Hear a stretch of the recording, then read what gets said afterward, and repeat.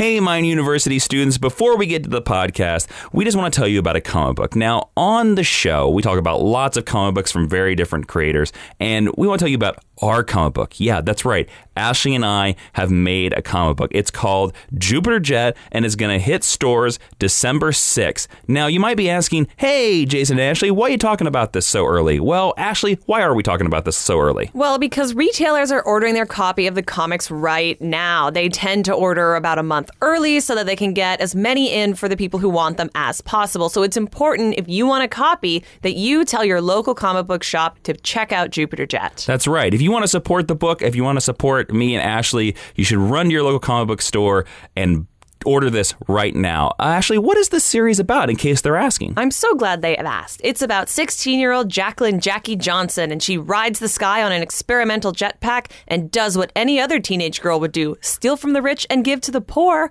But when she steals a mysterious object from the wrong person, can she survive the robots and the ray guns that they send after her? Yes, and you're going to get 32 pages in that comic book for $3.99. Not only is there uh, an amazing main story, but there's also a backup by Jorge Corona and us. Uh, Jorge Corona, if you don't know that name, he drew The Flash. Now, all you need to do is go in your local comic book shop and tell your retailer about Jupiter Jet number one. You can add it to your pull list if you uh, so desire. But we have three covers. We have a regular cover by Ben Matsuya, our regular series artist, a variant B cover by Ben Matsuya, and then a variant C cover by Jonboy Meyers, who you might have seen his art on Teen Titans. Uh, he does some Superman covers, and he also drew uh, the Royals. And also, if you have the previews, the October previews magazine, it's on page 254. Nice. Now, don't just take our word for it for how awesome Jupiter Jet is. We're a little biased. Uh, actually, some other comic book creators have uh, chimed in on Jupiter Jet as well. Yeah, some people you may have heard of, like Tom King, the writer of Batman and Mr. Miracle. He says, pure awesome comics. From page one, I felt like I was with Jupiter Jet, soaring and smiling,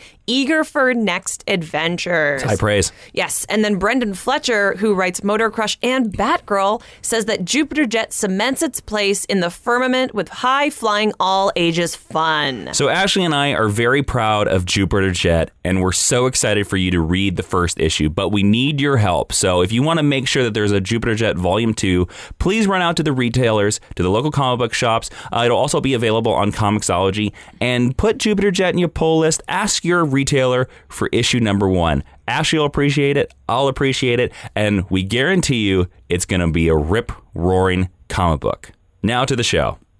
Hello and welcome to Geek History Lesson. I'm Jason Thunderous Inman. I'm Ashley Victoria Robinson. Welcome to your Mind University because you have stumbled onto the podcast where we take one character, construct, or ancient god from popular culture and teach you everything you need to know about it in about an hour. And this week we are tackling Thor. Odin's son, the god of thunder, and uh, Professor Jason, why might that be? Well, Thor Ragnarok is soon coming to our local movie screens and movie plexes, so I thought, like, let's talk about Thor. Now, for just clarification, we are talking about the Marvel Comics version of Thor. We're not just going to be talking about Norse mythology in general, because, oh my god, that would be like a 10 part lesson. It would get very detailed. We'd have to call in some professors from colleges, uh, but you can request that if you so desire uh, on a mean, Geek you- lesson. you could. Can you imagine the 10 part Norse mythology geek history lesson? I don't even think you could do it in 10. Just You buy mean- the Neil Gaiman book Norse mythology and read that. Now okay? to Jotunheim.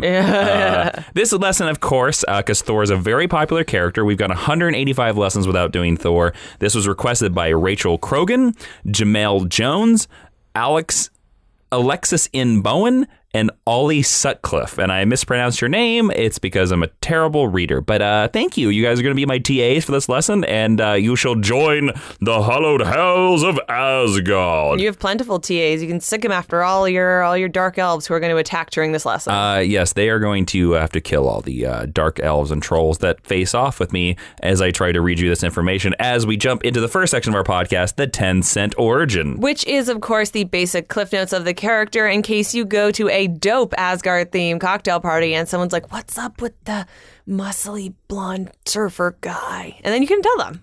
Now, Thor, of course, is published by Marvel Comics. His first appearance was in Journey into Mystery 83 in August of 1962. He was created by Stan Lee, Larry Lieber, and Jack Kirby. Hmm. Now, his full name is Thor Odin's son.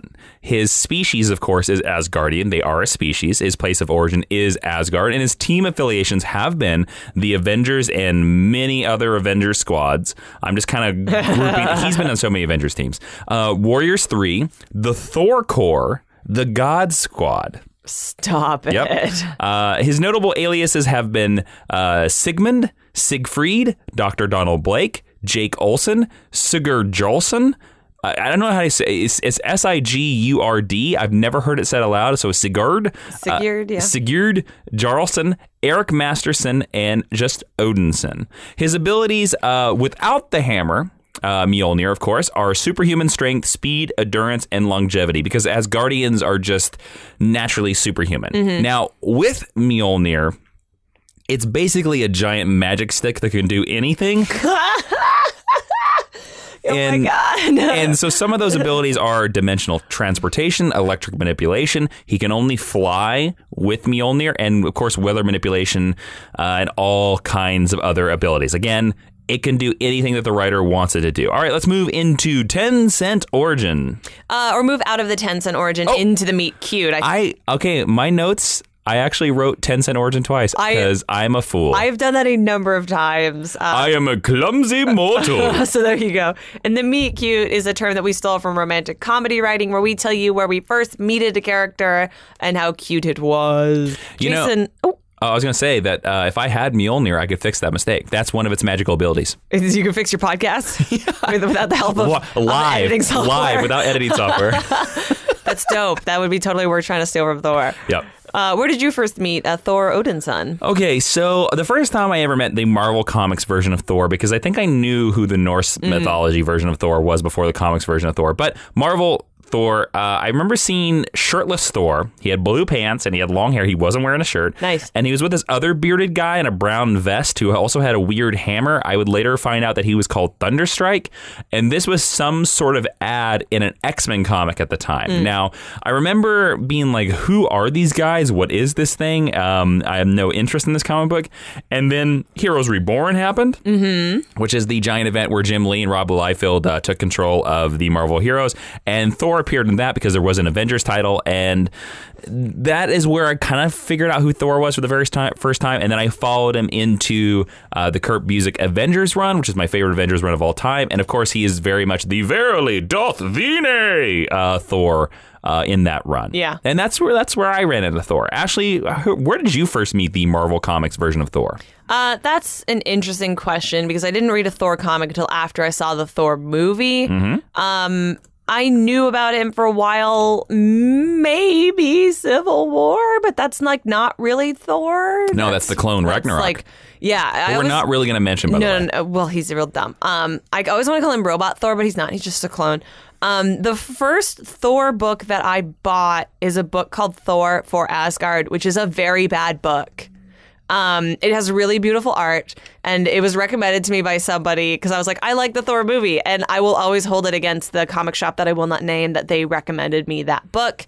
Um, but then there's another book that I read called um, Thor. Oh, I can't remember what it's called, but Thor is basically a little boy, and it's all it's like really really pretty. And you had it on your Comixology app, and that was like the first standalone Thor series I ever read, and I thought it was pretty good. Um, but really, it was it was really the the movie that introduced And me that's fine. to the finer points of who that character And is. if that's your origin, that's fine. yeah, don't tweet me. Yeah, however, however, however you get into Thor, it's, it's, it's all good. Uh, so let's dive right into the main meat of the lesson, which is History 101 of Thor, where Professor Jason is going to lay down everything that we need to know about the Odin son, the god of thunder. Now, Stan Lee, uh, we're going to talk about publication history, and Stan Lee, the god of the Marvel Universe with Jack Kirby. Uh, he's once said in a 2002 interview, um, this is how he described Thor's genesis. Okay. This is a quote from Stan Lee. How do you make someone stronger than the strongest person? It finally came to me. Don't make him human. Make him a god. I decided readers were pretty familiar with the Greek and Roman gods. It might be fun, true believers, to delve into the old Norse legends. Besides, I pictured Norse gods looking like Vikings of old, with the flowing beards, horned helmets, and battle clubs. Journey into mystery needed a shot in the arm, so I picked Thor to headline the book. And after writing an outline depicting the story and the characters I had in mind, I asked my brother Larry to write the script because I simply didn't have the time. And it was only natural for me to assign the penciling to Jack Kirby. Excelsior! Can I tell you a fun fact about Vikings horned helmets? Sure. Vikings never wore horned helmets. That's a fallacy that was popularized by Wagner when he wrote his opera, The Flight of the Valkyries. Oh, and it made the costumes. Yeah, yeah, yeah. So Ah. I think that's a very interesting historical anachronism. I just wanted to bring it up. I've had that in my back pocket this whole time. All right. All right. Tell me more about Thor. All right, we're going to go now into the character history. Now, Thor is the blood son of Odin, all father of the Asgardians, and Jord, also known as Gaia. Or Gaia, excuse me, the goddess who was one of the elder gods. Now, Odin sought to father a son whose power would derive from both Asgard and Midgard. What is Midgard, Ashley? It is the uh, Norse name for Earth. It is That is our, our our realm. Hence, that's why Odin sought to mate with Jord. Now, Odin created a cave in Nordway where Jord gave birth to Thor. And months after the infant Thor was weaned, Odin brought him to Asgard to be raised. And Odin's wife, the goddess Frigga, or Freya, uh, acted as Thor's mother from that time onward. It was not until many decades later that Thor learned that Jord was his true birth mother. I didn't even know that that was true. So that's very interesting. It is. It's very interesting, right? But it makes a lot of sense as we'll learn more about Thor. Now, the Ragnarok cycle of the Norse gods has created numerous versions of Thor's origin story. And the fact that Asgard is sort of a place of myth does not actually help matters when you're trying to keep track of all the different stories and the descriptions of events. Um, and this Ragnarok cycle is Marvel's explanation for why Thor's origin moves and changes. So basically, these gods are born, they live, they die in Ragnarok, only to be born again, live, die in Ragnarok, born again, live, die in Ragnarok. Now, in case anybody doesn't know, and in case anybody hasn't seen the movie with the same title, uh, Ashley, what is Ragnarok? Ragnarok is it's pretty easy to equate to like revelations in Mm-hmm. Christian mythology. It is the horrible war battle that ends all worlds and restarts your little uh, ring cycle. Yeah, specifically for Norse mythology, it it says that it's a great battle, um, and If it you want to die in battle, to go to the Elysian Fields. go, go uh, no, no Valhalla. oh, Valhalla, yeah. yeah, Elysian Fields is is Greek. Sorry. Yeah. Uh, so basically, uh, in the Ragnarok Norse mythology, it specifically says the death of Odin, Thor, Tyr, Freya, Heimdall, Loki, Balder, basically all the Norse characters, uh, and a bunch of uh, various natural disasters. And then also, uh, I did not know this, Ragnarok specifically mentions in Norse mythology that the world will be submerged in water. I did not know that. Uh, I kind of like that imagery though, like Yeah. you're like it's being cleansed almost. But it's basically end of the world. Yeah, yeah. Or end of all reality kind of a thing. So uh, let's go back to that. So now that you know that, you're going to kind of sort of understand something that will happen way later down in Thor's line. So there, Thor has been through who knows how many cycles, and the Thor we're experiencing is just the most recent cycle. yeah, the most recent in this line of reincarnation. Yeah. So the young Thor was raised alongside Loki, who had been adopted by Odin after Loki's frost giant father, Lau- Laufey, Laufey? Laufey. Laufey uh, had been killed in battle. Uh, and for all their childhood, Loki was jealous of Thor, and Loki's jealousy, which grew to hatred, resulted in a desire to kill Thor. Now, Ashley, we have done a Loki episode, correct? Very, very. er, I want to say it was the fourth episode, but I might be ris- misremembering that. Uh, very early, taught by me, uh, right when everyone's favorite Thor: The Dark World was about to enter the world. Yeah. so if you want to hear a completely different side to this lesson, uh, go check out that episode in our archives. yeah, he turns into a horse. It's great. Yeah. Now, when Thor was eight, Odin sent him to. Now, I'm going to just apologize right now that I'm going to butcher a lot of names in this. It's fine. Okay. We don't Um, speak any Scandinavian languages. Spoiler alert. and or mythical Scandinavian Yeah, languages. yeah. Okay. When Thor was eight, Odin sent him to Nidavellir, the land of the dwarves, to bid the dwarf lords Brock and Eitri to create three treasures for Asgard's ruler. Now, among the three treasures that Brock and Eitri created was the Uru hammer Mjolnir, Although, fun fact, Loki sabotaged the creation of the hammer so that its handle was made too short by distracting the dwarven we- weaponsmiths. Oh, that's funny. That's the reason why it's a short hammer. uh, Odin bestowed various enchantments upon the hammer, including one that made it impossible for anyone to lift it except someone who was truly worthy of wielding it. Odin then declared that he was reserving the use of Mjolnir for Thor, who would receive it on the day that the great deeds of his selfless valor had proved him truly worthy of its power. Now, this goes to a bunch of stories, and we've seen a lot of flashbacks to this, where you basically see a lot of stories where Thor is trying. It's it's it's kind of um. I would say a trope that a lot of Thor writers use, where we flash back to a time where Thor was not worthy of the hammer, and he's like, "Ugh, "I can't lift it." ah." Yeah, usually after being a giant butt in a scene. Exactly. yeah, we, we, we see him basically acting like a, a bloodthirsty Viking, and he's like, "I can't lift it." ah." They like a lot of Thor writers like to do that, or recent Thor writers. Anyway. Yes. Uh, The so movie does it too. the movie does it as well. So basically, for years, and we don't know whether this is thousands of years or anything, Thor strove because Thor's idea was if I become physically strong, I can lift it. That's the, what he thought. Typical man. Yeah, ty- typical Viking man. Uh, but Thor, through his struggles to lift the hammer, became Asgard's greatest warrior. Before Thor was 20, he had fallen in love with the goddess Sif. Now, we don't know whether this is 20 Earth years or 20 God years. Who knows? Yeah, it's like Narnia time. Like the scale is way off. Um, he, so he fell in love with the goddess Sif. In fact, when Sif had been kidnapped by storm giants and ended up as a prisoner of Hela, Thor offered his own life in exchange for Sif's freedom. Now, the goddess of death, which is what Hela is, was so impressed by the young thunder god's nobility that she let both of them go, and the romance between Sif and Thor waxed and waned over the many millennia. Now, Ashley, I want to ask you a question. Okay. Um, because I like Sif. Uh, and, you know, she hasn't gotten a lot to do in the movies. Do you like Thor and Sif together over various Thor's girlfriends? Because we're going to start talking, you know, we're going to get to a point where we're going to start talking about Jane Foster. That's not really a spoiler to anybody that's seen any of the movies.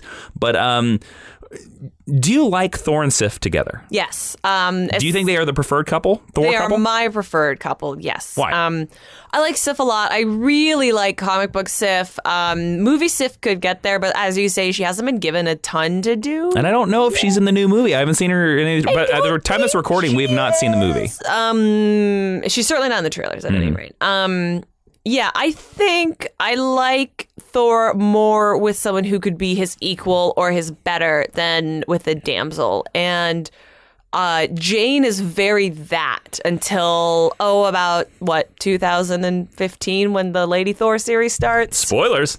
Uh, if you would like to request a Lady Thor episode, please do so at GHL Podcast. Um, yeah, I don't love Thor with mortals, and Yeah. I don't love it's. It's the same reason I don't like it with Doctor Who. I don't love godlike figures with mortal Humans. women. Yeah, yeah, I yeah. don't at all. So yes, Thor and Sif forever and ever. Tweet me pictures. I agree. I, I'm with you. I think Thor and Sif should be together. Yeah. All right, now let's skip ahead to the 9th century AD. Well, why not? Uh, Thor traveled to Earth to promote his worship amongst the Vikings. Mm. Now, both the Norsemen and the Germans called him Donner, which is their word for thunder. Yes. And they came to worship Thor and other Asgardians. Thor actively encouraged the adulation of his Viking worshippers for years and encouraged them to find glory in battle. Now, I think this is an interesting retcon that explains that the reason why humans know anything about Asgard is Thor, Thor was there, specifically. and he told them. Yeah. Also, this is you could kind of look at this as a ploy of Thor trying to get praise to get the hammer because he's a giant doofus. Yeah. Or an ass, whichever way you want to look at it. Also, then they're going to name a reindeer after him because there's one called Donner. Uh, yeah, it's true. uh, after the uh, during the 11th century AD, Thor faced off with Apocalypse, who at that time was powered by the Celestials. Uh, now, seeking revenge because Apocalypse had kind of kicked his butt, Thor blessed his axe that he was using at the time with his own blood to imbue it with godly power, and it allowed him to cut through celestial armor because it had the godly Asgardian blood on it's it. maybe the smartest thing Thor has done to date You are exa- history You're exactly right. Now, Ashley, this is an axe that currently in the comic books Thor is using. Mm-hmm. Do you know the name of his axe? Can you spell it for me? It is spelled J A R N B J O R N. Uh, Yarnbjorn. You are so close. God Damn it. It- you're very close. You're, it, it is Yarnbjorn. Yarnbjorn. Yarnbjorn.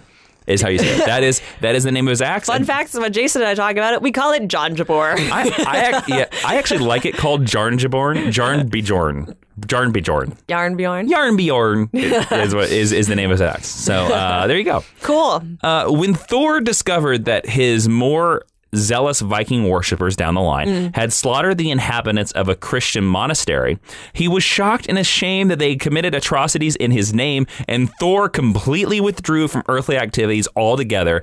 And that's when the active worship of the Norse gods effectively ended because Thor wasn't basically the, with them all the time. Well, I gotta say, there are some other gods who could take some notes from Thor's behavior because that is some good godding right there. Uh, so for centuries, uh, the only memory that man would have of the Asgardians, of course, is through myths and legends. Mm. It is also sometime during this hundreds hundreds of years yeah. that Thor finally became worthy enough to use Mjolnir. Mm. Uh, but also he was also forced to live as a human for a brief time as the Germanic heroes Sigmund and his son Siegfried. Don't ask me any more about it. It is such a ridiculous story that I'm going to move right on. Sounds good, man. Uh, but then we move to modern times. And in publishing history, it was the 1960s. But for Marvel Comics history is about 10 years ago. okay.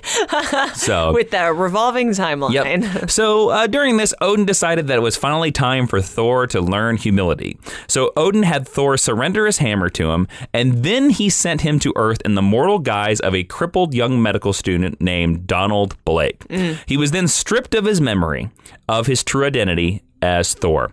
As Blake, Thor learned the value of humble perseverance in dealing with his injured leg because he had a cane, he had a limp.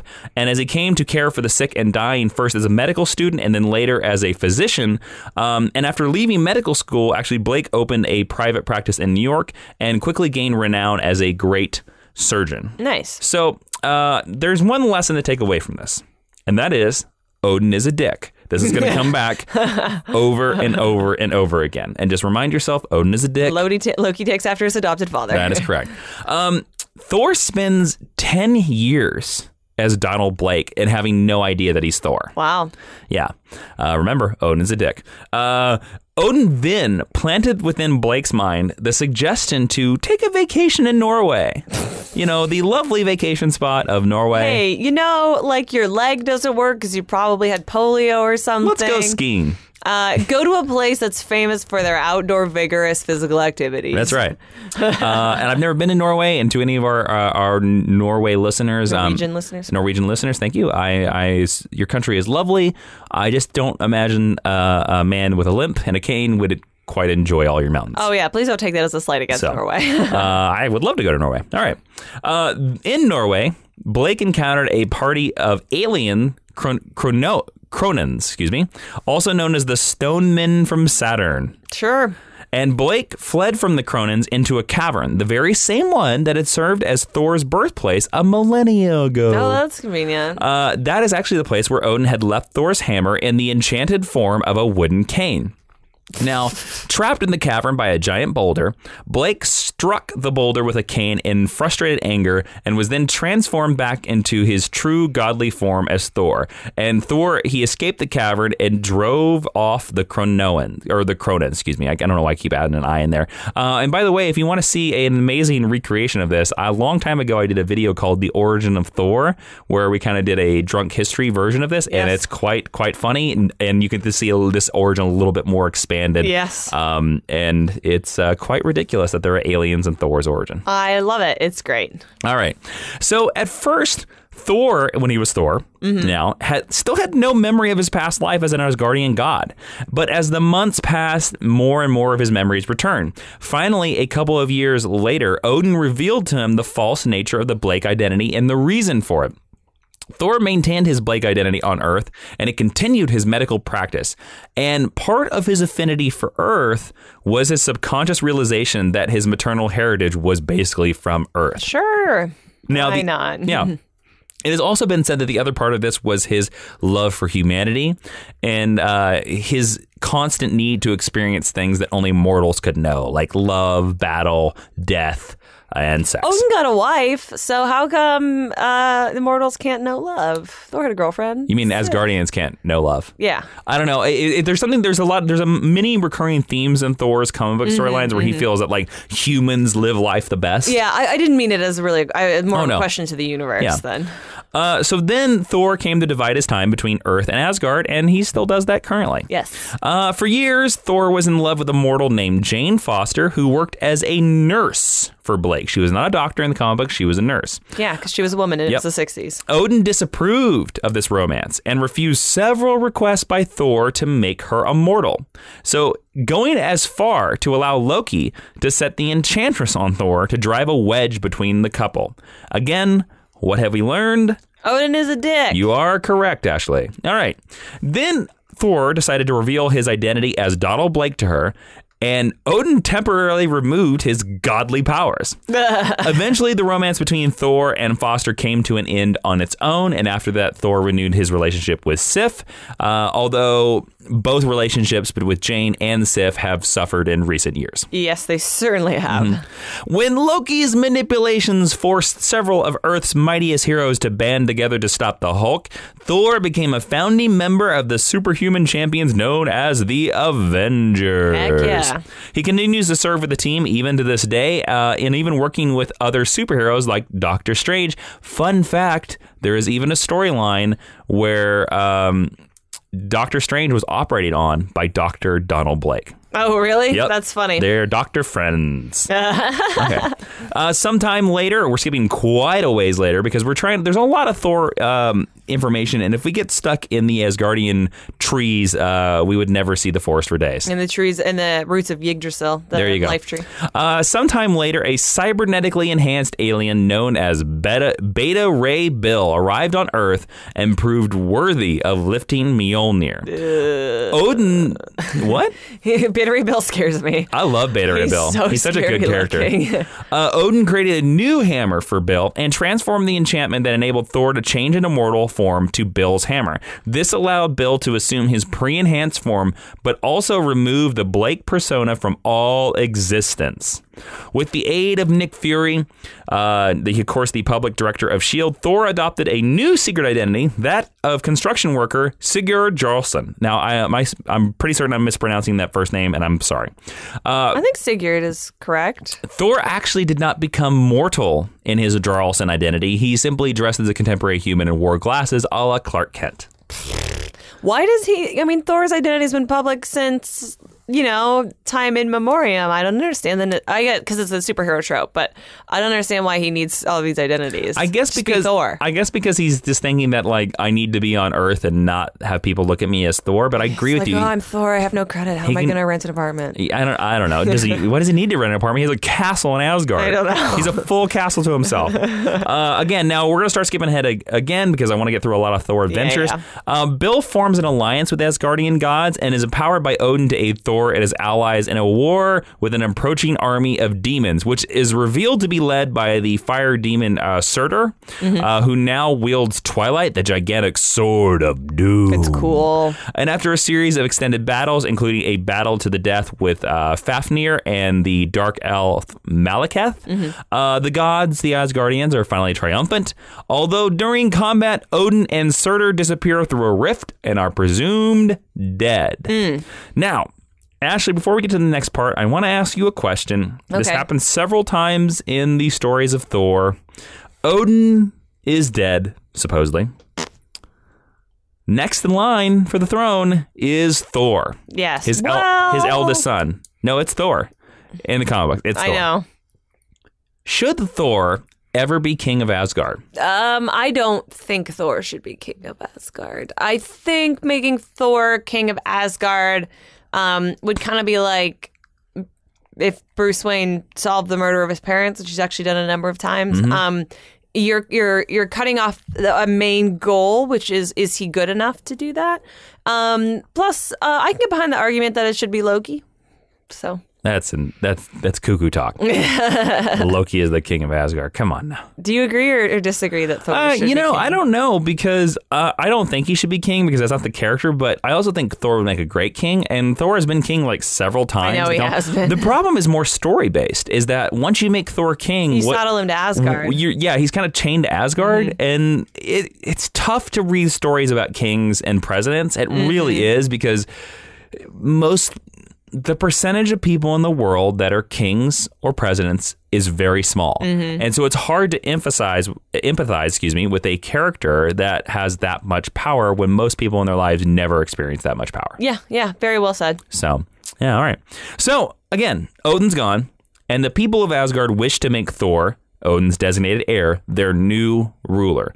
Unwilling to give up his guardianship of Earth or his life of adventure, Thor declined the offer and instead nominated Balder the Brave to be Asgard's ruler. Hmm. And Balder ruled until Odin returned and reclaimed the throne a couple years later. There you go. For a time. Thor was also merged with the human Eric Masterson, an architect who first met Thor as Jarlson. The two men would exchange bodies using Mjolnir, as Thor had done with Donald Blake. And after Loki attempted to kill Susan Austin, the woman who cared for Eric's son, Thor became furious and slew Loki. As a punishment, he was exiled from Earth, and Eric Masterson was given the Thunder God's power to continue in the role of Thor. Eventually, after Loki reappeared, because of course it was a trick, Eric Eric was able to find Thor, who had been hidden within Eric's own subconsciousness, and rescued him from exile. Oh well, that's lucky. Now, Eric proved himself to be a hero, and Odin rewarded him because Odin sometimes just likes to give hammers out for no reason. Yeah. And he gave him the enchanted mace known as Thunderstrike. Oh, we talked about that earlier. Mm-hmm. Now, taking Thunderstrike as his alias, Eric continued to serve as a hero on Earth with his brown battle vest and beard and long hair. He's so 90s until he died heroically after battling the Egyptian god, uh, the death god of Seth. Now, Thor grieved for Eric, who had actually become a close friend for him on, on Midgard. And again, like I said, this was the character that I was talking about in my Meet Cute. yes. Then Heroes Reborn hits Thor. Ashley, what's that? Uh, it's when Marvel decided that they needed a reboot, so they got a whole bunch of the image people to draw and write their titles and give them new life. Yes, but it was only the Avengers and the Fantastic Four. It wasn't. and, and Jason loves it. It wasn't any of the rest of the characters. Uh, after that event, uh, only lasted a year. Thor comes back to the main Marvel universe, and he gets a new title written by Dan Jurgens. nice. Superman and, writer. And in that title, um, there was a paramedic named Jake Olsen. And he was slain during a battle between the Avengers and the Destroyer. And Marnot, who is a mystical character, gave Thor Olsen's form as a new identity and sort of a punishment for letting this human die. Mm. Although Thor could assume Olsen's form, he had none of Olsen's memory and thus found this identity to be troublesome to him. He also re encountered Jane Foster while in this identity, and brief sparks were rekindled between them. But eventually, it was revealed that Marnot, the character that forced Thor to relive this mm-hmm. penance, was actually a character from Norse mythology. Ashley, do you have any guesses? You know about Norse mythology. You have any guesses about who Marnot is? Loki. Incorrect. Um, I know very little about Norse mythology. Oh, all right. Um, uh, I don't know. Freya. Uh, incorrect. Marnot is one of Odin's ravens. oh, Odin has three ravens. Uh, yep, that's a thing. Yep. Yep. Nailed it. Definitely Loki. Uh, I didn't know that. That's really interesting. it's- I like that story a lot, actually. It's the first twelve issues of Dan Jurgens run are, are really good. I think. cool. Um, soon Thor got injured and needed to recover, and he still had responsibilities at Jake Olsen that needed attention. And Odin separated Olsen. what? I don't know. Paying the rent. taxes. Dine, I must pay my taxes. Ridiculous. Thor needs an accountant. I don't know. What's um? There's no, there's no like a. There's a bunch of lawyers that are prevalent in the Marvel universe. There's no accountants that work for the Avengers. As far as I know, no. Oh, okay. Murdock and There's no certified public Avengers. Can you imagine that? CPA. Well- CP Avengers. CP Avengers. CP Avengers. Marvel could hire us to write that at any time. Uh, please God, no. I would hate to write that title. Um, okay, so he had responsibilities that Jake Olsen that needed attention to. Sure. So o- Odin separated Olsen from Thor temporarily so that Thor could recuperate properly while Jake attended to his life. Now, the temporary separation lasted far longer than intended when the fire demon Surtur, remember him? Yep. Resurfaced. And after Odin fell in battle against Surtur again, Oh, geez. Asgard was left without a ruler again. Oh, geez. Thor reluctantly accepted the throne for the first time, assumed his father's Odin power, becoming more powerful than he had ever been in his entire life. Well, being the All Father is kind of a big deal. Mm-hmm. He also remained separate from the Jake Olsen aspect of himself, and without the influence of Jake Olsen, which is basically the embodiment of his connection to humanity, Thor became more distant hmm. and less empathetic to the needs of man. And Thor began determined, became determined, excuse me, to restore the gods of Asgard to their former place on Earth as beings to be worshipped, merging Earth with Asgard to accomplish this end. Oh, old asshole Thor coming out of the woodwork. That's right. Thor increased his activity on Earth, and it resulted in a resurgence of followers for the Asgardians. A new Church of Thor soon emerged, and Thor's willingness to fight for the lives of his followers ultimately set him against his fellow Avengers when he attempted to overthrow the government of Slokovia, not you know Sokovia, you know the Accords. Another fake Slokovia. They like to use Kovias in Marvel. Yeah. So a lot of Kovias. Vaguely Eastern European Yep. sounding countries. Latvia, Latveria, yeah. Yeah. Uh, Earth citizens became increasingly wary of Thor, and the consortium of nations and the UN finally launched an assault upon Asgard and reduced it to rubble. In the disaster that followed, an enraged Thor lost an arm in battle uh, and killed his other self, Jake Olsen, finding himself no longer worthy of Mjolnir at that point. Gee, I wonder why. Yeah, I mean, he's murdering humans left and right. Come I, on. I remember when he got his arm ripped off. Uh, well, he's got his arm ripped off a couple of times. Oh, It's maybe I'm it's- misremembering You're that. misremembering, I, I bet. Um, you- I think you're thinking of the later time that I'm going to talk about. Oh, great. Um, from this point on, Thor devoted himself to Earth's conquest in order to bring order to humanity. And the story moves ahead 200 years, in which Earth has been ruled by Asgard for nearly 200 years. In that time, Thor married the Enchantress. Ew. And she bore him a son called Magni.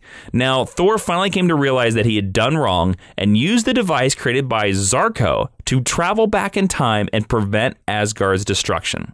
He re emerged as his younger self with Jake Olsen to ensure that Olsen's humanity would prevent that future from becoming a reality. wow. So Thor doesn't lose his arm, he doesn't conquer humanity, he doesn't do all this stuff. He Doesn't have a son. Yeah. Now Thor returns Asgard back to its own realm. But Thor was faced with yet another Ragnarok threat when Loki teamed with Surtur using weapons created from the same forge which is which which Mjolnir was made. This basically is Loki kind of has this weird army made up of trolls and stuff mm-hmm. and he arms them all with sort of Mjolnir like weapons. So some of them are axes, some of them are maces, but they're all built with like Ur metal. Yeah. And they're super powerful and they crack like Mjolnir in half. Oh, cool. Um, now, during this event, Thor determines that the god above all gods, so yeah, the gods have gods, they're called those who sit above in shadow. He finds out that they have manipulated Asgard into a repeating cycle of Ragnarok. This yeah, we is talked about that. this is when Thor first figures out that this is not the first lifetime that he's ever lived. Uh, so he sought out these gods above gods and gave his life, and that, and also the power and realty of all of the Asgardian dimensions to destroy the god above gods. Now, the Odin power manifested itself in front of Thor and congratulated Thor on his final victory and said that this was the plan that his father had always had for him, leaving Thor and the rest of the Asgardian gods to slumber forever. And only their memories of them would be remembered on Midgard. I think I think that's interesting because Odin does have something called the all sleep, where when Odin sleeps, he sleeps for a long The Odin sleep. time. The Odin sleep, yeah, yeah. Mm-hmm. So like this is like the Odin sleep for all of them. Yes, and and I, I actually really like this storyline. This is the end of that series. Is is Mm-hmm. where the Ragnarok it happens around Avengers Disassembled. Um, but I like Makes this. sense. I like this idea that Thor lets Ragnarok happen, but he stops the cycle, so there is no rebirth. Yeah. uh, which I really like. So uh, Thor is dead. Great lesson. And that's the I end of the you- lesson. You did a great job. Thank you so much. I think that was a really good time, and um, you know, I thought Shorter that than I was thought it would be. um, you know pretty short, and um, you know, uh, but Thor's not dead. Sorry. of course not. Uh, actually, no. Uh, Thor was gone from the Marvel Universe for about three years, though. Uh, so Mjolnir returned first. Mjolnir returned to Earth, landed in a deserted field, and inadvertently freed Doctor Doom from his extra dimensional prison along the way. Because why not? Um, actually, like the storyline a lot. Uh, it was um, Mjolnir through uh, flew through all the dimensions, and when Doctor Doom saw, it, he grabbed on, and that pulled him out. Oh, that's cool. Um, now Donald Blake somehow was brought. Uh, returned from oblivion after Odin's death. Like Oh, there was great. some sort of spell that undid his uh, unexistence. Meanwhile, a clone of Thor, uh, codenamed Project Lightning, also codenamed later Ragnarok, Mm-hmm. was released during a battle between pro and anti registration heroes during the Civil War. Yes. And to shock both sides, he killed Bill Foster during the fighting uh, of this giant Yeah. Civil War battle. Which, uh, actually, real quick, what is Civil War? Uh, Civil War is when the United States government said that, hey, you guys can't have uh, autonomy. You should register with us. And Iron Man said yes, and Captain America said no. And then they fought. That's right. Uh, now, during this time, a little bit later after that, this reborn Donald Blake traveled into the void and talked to Thor. Uh, he convinced Thor that he had ended the Ragnarok cycle for good, and that if he returned to Earth, he could rebuild Asgardian, Asgard and restore his Asgardian friends and allies, and they would be free from this cycle. They could live and just do whatever happens is whatever happens. Um, and so Thor did, and this begins J. Michael Straczynski's run on Thor, which a lot of the first movie takes from. Yes, it does. Thor used Mjolnir to reco- recreate Asgard's capital in Broxton, Oklahoma. But Tony Stark was the head of S.H.I.E.L.D. at this time, and he didn't really like that. Seeking a compromise, Stark rationalized that Asgard could be considered a foreign embassy with diplomatic immunity. Diplomatic immunity for all the Lethal Weapon fans out there. Uh, and gave it basically diplomatic immunity to all of Asgard. Thor was like, I, Dine, I will accept ye. Um, then Thor began to gather all the lost Asgardians were hidden on Earth. In Africa, he restored the Warrior Three to their true forms. Uh, and initially, Thor successfully restored all of the Asgardians, although he couldn't find his father and he couldn't find Sif. Uh, but during the Odin sleep, because Thor had that power still, Thor had a vision in which he discovered that on a subconscious level, he wished to be free of his father, and he saw Odin fought an eternal cycle of battle with Surtur, dying and being reborn each day, a la Sisyphus, uh, Sisyphus from Greek mythology. Yes. Um, this was also the run where Loki was a lady because Yes. she was uh, he was she he was inhabiting the body of Sif. Mm-hmm. Loki traveled to the past and ensured that Bor, the father of Odin and first king of Asgard, would perish in battle against the frost giants. However, in present day, Loki revived Bor in New York City and placed the spell on him to make him mistake everything around him for an enemy so that he would attack everything in sight, including Thor. Sensing a portion of Odin's power inside what he saw as a demon, but it was actually Thor, Bor attacked Thor, attempting to avenge his dead son. So many oars. Yep. And through this battle, Thor was forced to kill Bor. Oh, man. Loki reminded Balder that the resurrected Bor was technically king of Asgard and actually superseded mm-hmm. Thor. And so the punishment for killing a king was banishment from Asgard. And Balder was forced to agree and kicked Thor out of Asgard and made and was made monarch in his place. Aw. Then siege happened. Ashley, do you know what siege is? I don't know what siege. Uh, mm, no. Siege is basically where this giant battle happens around Asgard in Oklahoma, and um, basically Norman Osborn, who is Knew it was a Norman Osborn thing. yeah Norman Osborn, who is the head of Hammer, which is basically the shield replacement, tries to take over Asgard. It's kind of dumb. Cool. Uh, during the siege of Asgard, Thor rushed to the aid of Asgard against Norman Osborn and his invading Dark Avengers. Uh, although Dark Avengers is a great run, Osborn ordered the Sentry, who is basically the Superman of the Marvel Universe, to destroy Asgard before the horrified eyes of Thor. During this event, Loki was killed. Thor rejoined the Avengers and ended his exile into Asgard.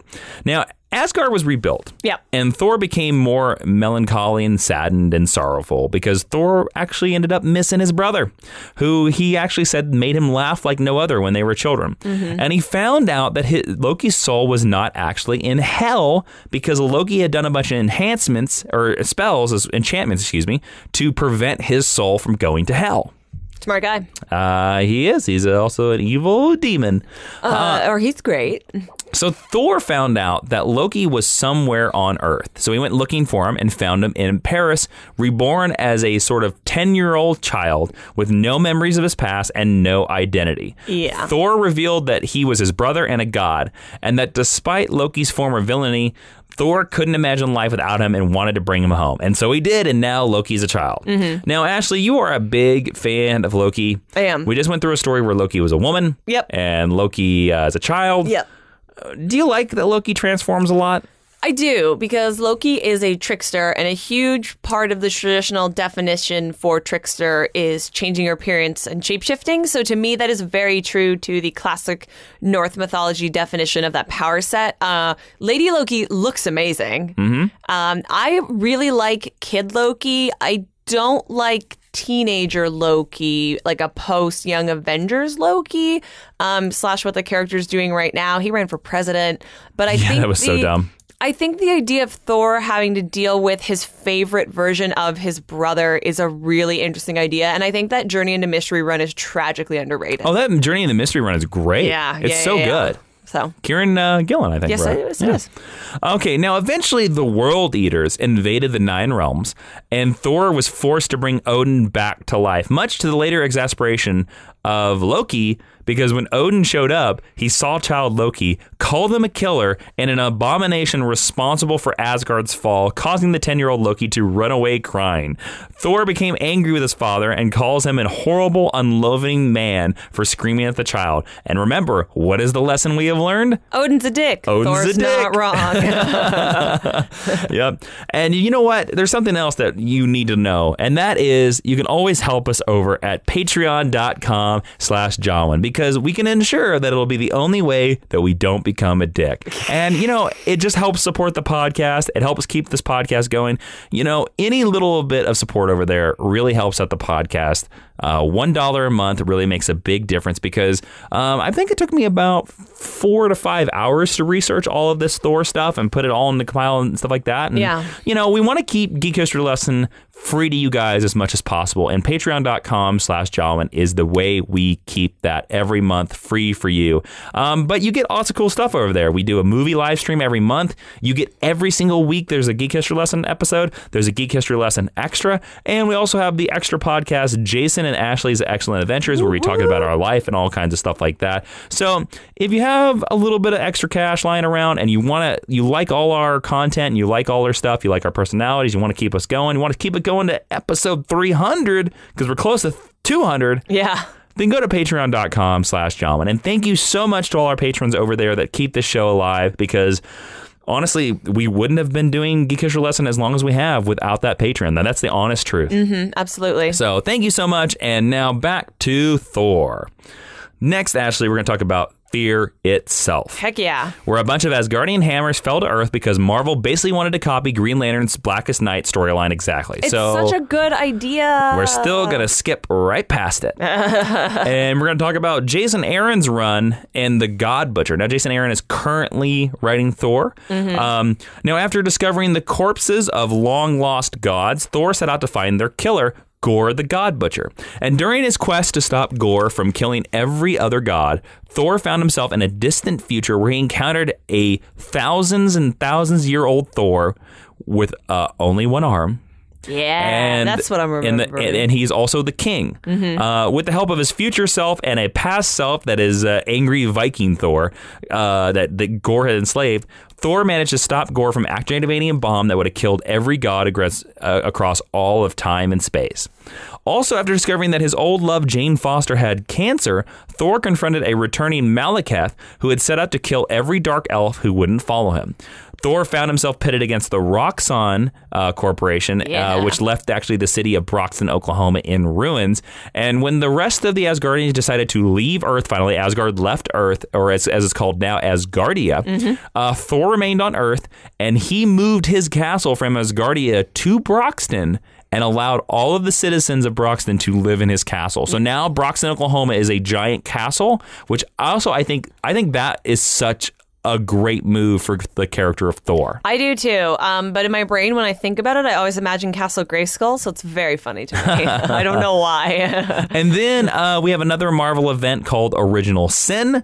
Uh, basically, this one is after finding Utah's uh, corpse on the moon. Oh, Utah, of course, is the Watcher. Uh, Thor alerted the Avengers of the Watcher's murder and helped them investigate the crime. Now, he and several heroes were affected by uh, uh, Utah's eye when it exploded. It created a blast of energy, re- revealed deep secrets related to those affected by it. Now, to Thor, it revealed the existence of a secret. 10th realm. We've heard of nine realms in the world tree. Mm-hmm. This is the 10 realms, which actually had been at war with Asgard eons ago. And he learned that he actually had a secret long lost sister who still lived in the 10th realm. Ashley, do you know who Thor's sister is? I don't know who Thor's sister is. Thor's sister is Angela. Oh, yeah, I do. The know. Angel. This is the Spawn character that Marvel took back from Todd McFarlane, and they decided to shove into the Marvel universe be- for no good reason. So I, I read this run. Uh, the tenth realm. re- Oh, recently. it's bad. Um, I read a number of Marvel stories with Angela in them. Um, I don't like that idea, so I completely forgot that Thor had a quote sister unquote. Now, if you don't know who Angela is, Angela, of course, is uh, she's a character created in the Spawn comic book, the Image comic book Mm. by, by Neil Gaiman and Todd McFarlane, and she was an angel that was meant to hunt Spawn. Now, eventually, Neil red hair. Gaiman sued Todd McFarlane, and he got the rights to Angela because he was Mm-hmm. like, "I created Angela," and then for some reason, Neil Gaiman gave Marvel the rights to use Angela, and they sort of just shoved her into that universe. And I believe it was because Marvel wanted him to write something else, and he only agreed to if they bought Angela from. Oh yeah, they bought An- or Yeah. something like that. Okay, it's probably I don't know exact details, but anyways, I don't want to turn this into an Angela It's lesson because to be honest with you, she became part of the Guardians of the Galaxy. Uh, she A-Force, yeah. she doesn't work in the Marvel universe. No. She only works in Spawn. Yeah, Actually, she was a great character in Spawn. So there you go. there you go. Jason likes Spawn.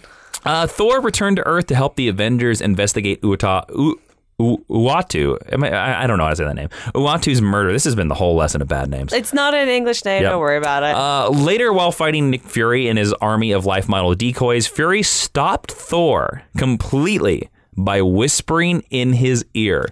Now, for two years, we didn't learn what he said, and I'm not going to tell you what he said for a while. And whatever Nick Fury said caused Thor to lose his confidence about his godhood and consequently his ability to wield Mjolnir. Mm-hmm. After losing the ability to wield Mjolnir, Thor took up his battle ba- his battle axe Jarnbjorn as a substitute. And then on the moon, because that's where the hammer fell, Thor tried to claim his hammer but was once more rejected by it. Even Odin, the creator of the worthiness enchantment of Mjolnir, who has always been able to pick up the hammer, couldn't pick it up.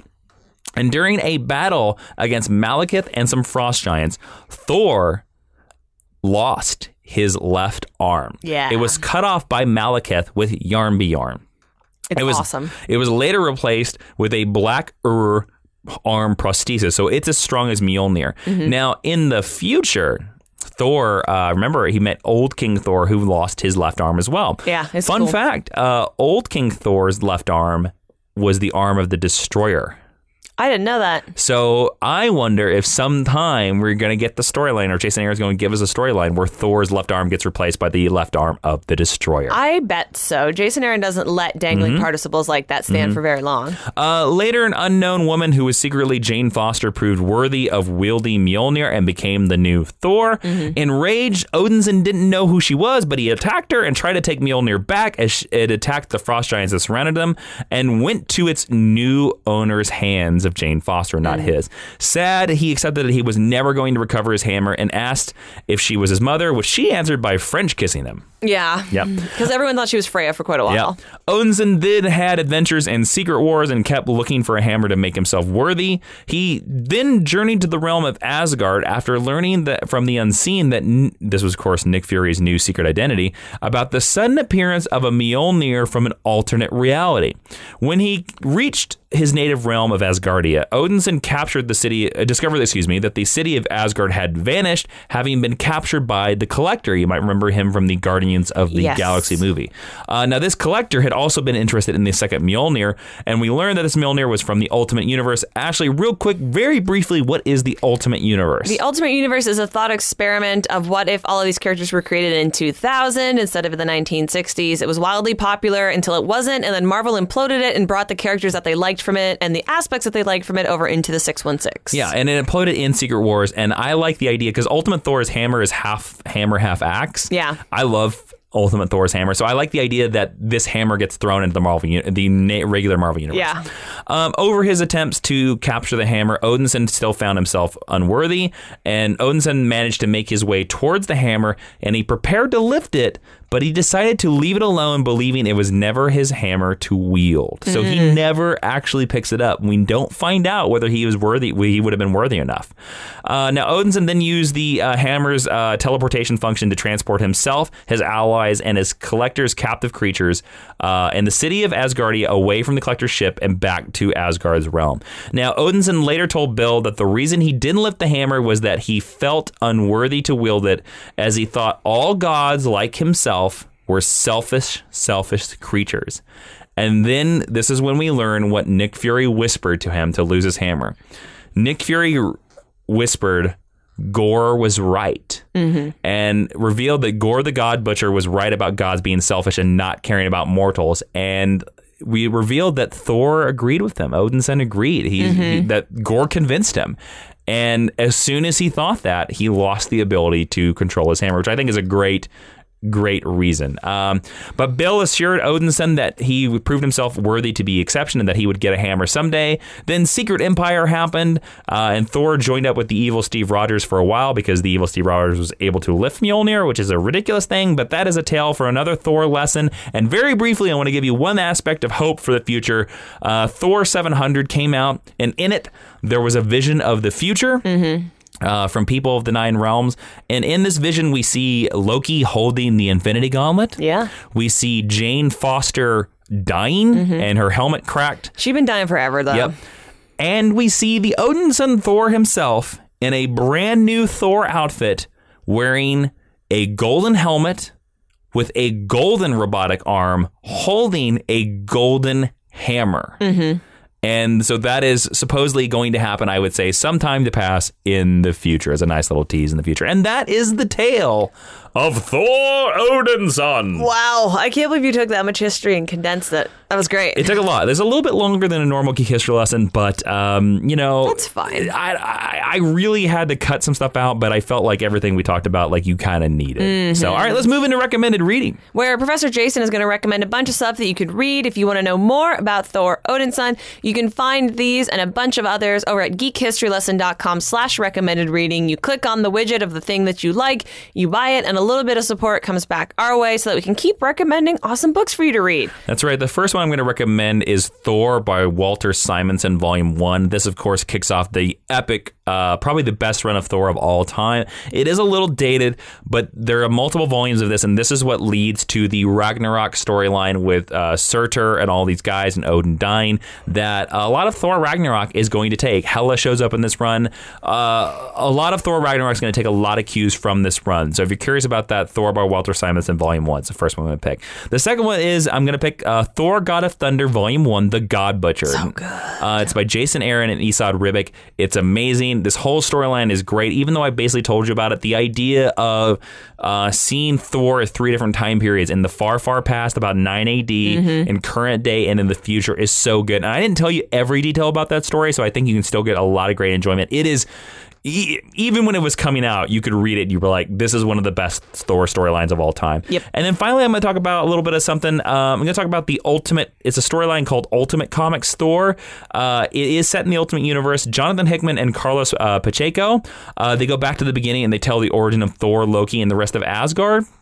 Nice. Um, and it's very interesting. It's a very different Thor story because it's their origin stories, but also the underlying tone of the book is is this real or is this fake? Which is a running theme for Thor in the Ultimate Universe. Everyone thinks he's just a crazy Norse guy Yeah, for quite a while. Yeah, and Ultimate Comics Thor really sits on that, and I think it's a really neat storyline. And also Carlos. So if you're looking for a Thor storyline that's a little bit different, Yeah. it's very self-contained, and that's the one that I pick. So there you go. Nice. All right. So I didn't put a discussion in this episode um, because I thought it would go long. But actually, really quickly, um, anything you learned about Thor that you didn't learn before? Um, Any thoughts? Any insight? um, Odin's more of a dick than I thought he was. Odin is a dick. and I can't get over the fact that Thor has had multiple civilian identities. I just think that's so ridiculous. Sure. So there All right. go. Let's move into the teaching tweet. Where in 140 characters or less, Professor Jason is going to sum up everything he just taught us. And to see this and all of our teaching tweets every week, head on over to Twitter at GHL Podcast. Verily, Thor, the god of thunder, has tales of epic proportions. But his hammer doth break too much, methinks. there you go. That's, teaching tweet. yeah. All right, let's go into the final section of our podcast, the GHL Honor Roll, where if you go over to iTunes, you leave us a five star review, we're going to read it on the podcast. This five star review comes from Willie Burke, and he says, or she, I can't express my love enough. I've been blessed with the gift of discovering this podcast. It's funny, has a great structure to each episode, and informs you about both characters you think you couldn't know any better and ones you've never heard of. On a personal note, I've always struggled with weight problems, and now I'm motivated to exercise. I take walks and runs because I have Jason and Ashley and their great lessons to accompany me the whole way. When I tweeted suggestions to them, uh, they responded and even retweeted my Spider Man chronological timeline request. I really love this podcast. Uh, whether an inspiring nerd or well experienced one, I can say for sure you will enjoy it too. And Willie Burke, uh, if you're listening to this on a run right now, uh, keep going. Great job. And uh, it's nice. I'm glad that we get to keep you company. I do want to say that I'm I'm honored that you include us in your personal journey that way. That's maybe one of the nicest things anyone's ever said Keep on to us. going, man. Uh, uh, all I say is, um, you see that stop sign ahead of you? You can get past it. Just we'll keep you. It's okay. Come on, keep going, man. You get keep going. You got it. You got it. See, you made it.